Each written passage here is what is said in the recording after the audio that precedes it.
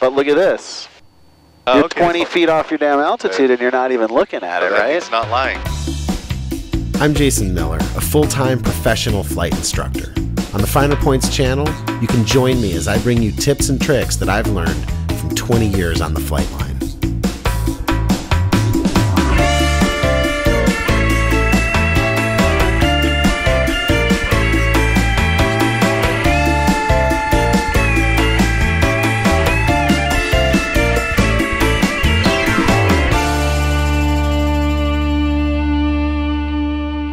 Hello aviators, welcome back to the Finer Points. In this video, I'm going to show you the second instrument flight lesson that I had with Joe.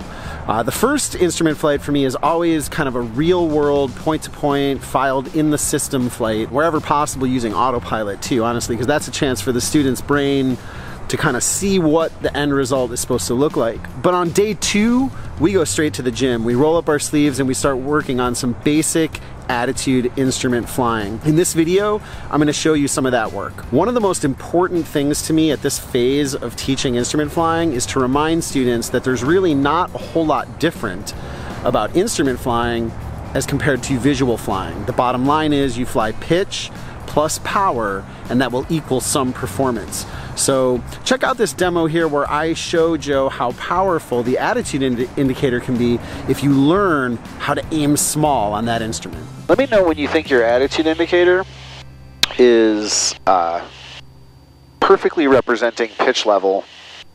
So you're not turning, you're not descending. Okay. And aim, remember to aim small on that unit, right?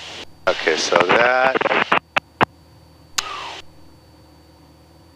that looks level, but I'm climbing. Interesting, yeah. so it's, it's always pitch and power, and wait for that thing to stabilize. I'm actually not really. I'll wrap it around and just trim it so it stays up here. Okay, yeah, it's holding. So what do I mean by aim small? It's a pretty simple concept. Like if I gave you a rifle and I told you to shoot at that hangar, um, hangar door rather, you might miss the hangar door. But if I tell you to shoot at the fire extinguisher on the side of the hangar door, you might miss the fire extinguisher, but you'll probably hit the door, right? So you'll hear me talk to Joe about aiming small on this kind of ridiculous instrument that takes your entire windscreen and compresses it into a little two inch circle. Now let's get rid of everything except your attitude indicator. I mean, yeah, that's it. So that's all you're gonna have. I want you to aim aim small on that guy. Okay. Don't let anything change. I will give you ten million dollars if nothing changes on there.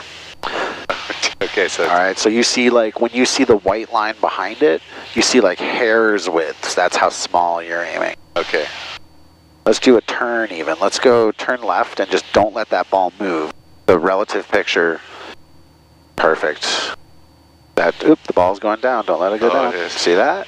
That's how small I want you to fly that thing, right? It's going down. You Going pitch down down, again, for yeah. sure, so pull it back up. There you go. Yeah. That's better. Like that. Now, sometimes people tell me they have a hard time holding altitude under instruments. It's because they're not using this picture properly. Your ball's dropping a little bit there. Bring it back Oh, up it is, yeah, about I can see a little bit of white. Right, that's how small, dude. Wow. That's Okay. how. But look at this.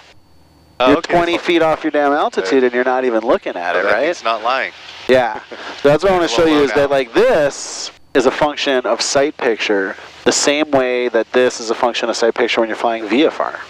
There's no real difference. It's just Right, your so if I see this drop, yeah, exactly. Your whole window, unfortunately, just got shrunk into this tiny BS little two and a half inch screen, right? Also, you'll see me talk about the inverted V scan. This is a really powerful scan pattern for rolling into and out of turns. It cross checks three systems the electric, the vacuum, and the static, and will also allow time for the attitude indicator to self right after prolonged turns at a standard rate. So you go to the turn coordinator, attitude indicator, VSI, and then back to a radial scan. And this would be like an inverted V right here, that scan pattern.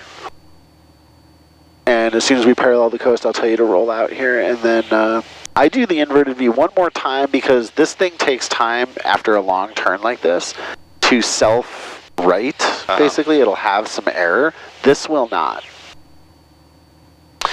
So watch this when you come out of this turn here. Uh, let's roll out on north. Okay, you roll out of north, go turn coordinator first, stop turn. Okay, That's turn. it, stop turn. You're turning to the right a little bit. There you go. Good. Now look at your attitude.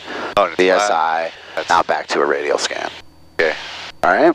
And you know how important the law of primacy is too. So while you're doing these exercises, just have your student enter climbs, level off, enter descents, level off, and for each one of those climbs, level offs, descents, and level offs, there should be a flow check followed by a checklist. Okay, just try to develop that fundamental habit. All right, aviators, that's all for this episode of the Finer Points. A huge thanks to Joe for letting me publish his flight training to the internet. Um, if you want to follow along from day one all the way through his instrument rating, come to patreon.com slash learntfp for that, uh, for all of those videos. Um, also, I've got a free video I'd love to give you if you come to learnthefinerpoints.com. You can find me on Instagram at Learn the Finer Points.